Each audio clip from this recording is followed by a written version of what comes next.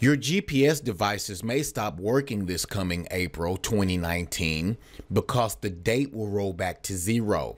Now, if that sounds familiar, it's because the situation is basically the same as the Millennium bug behind the infamous Y2K scare. The rollover will occur because of the way the Global Positioning System network timestamps its data.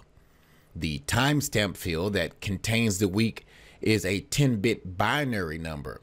That means it can only account for weeks between 0 and 1023. That limits the system to 1024 total weeks.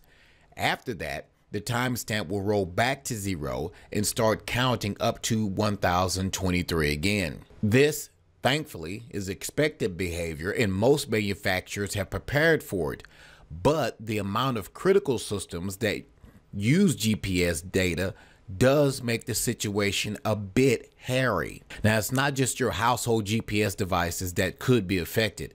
Important systems like power grids, emergency services, financial markets, and industrial control computers also rely on GPS data. According to testing by the U.S. Department of Homeland Security, there is a chance that some GPS data receivers could be negatively impacted by this. Some devices could interpret the rollback as the actual data shifting to an incorrect one, such as January 6, 1980.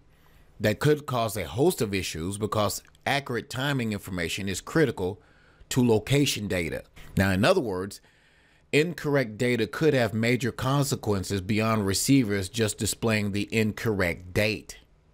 Now, because of that, the DHS is recommending that people in charge of critical systems and infrastructure, along with businesses and private users who think that the GPS rollover could cause problems, should prepare for the event. Not all GPS devices will be affected. Now, most modern devices made after 2010 should be unaffected.